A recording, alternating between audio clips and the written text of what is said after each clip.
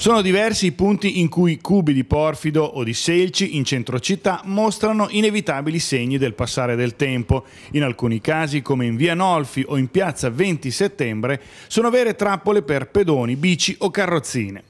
Da oggi però due aziende, la Laziale Scavi di Roma e la TMG di Sondrio, stanno lavorando al ripristino del piano calpestabile in centro con interventi mirati. Si è partiti da Piazza Costanzi e si passerà poi in via Nolfi, entro la riapertura delle scuole. Ai nastri di partenza quindi anche il piano asfaltature per il quale operano le due aziende che dopo lo stop della stagione estiva riparte con tutta una serie di interventi in diverse zone della città. I lavori che state vedendo in centro storico fanno parte del piano asfaltature dell'anno scorso, quindi 2018-2019.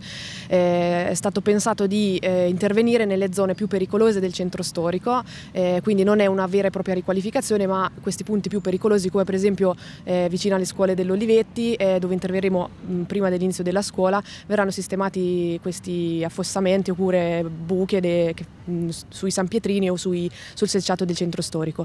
Contemporaneamente stanno partendo anche le asfaltature, sempre che fanno parte del vecchio piano asfalti, eh, era l'appalto di circa mh, 2 milioni di euro e che era stato interrotto per i mesi estivi per problemi di reperibilità di materiali e ferie delle ditte.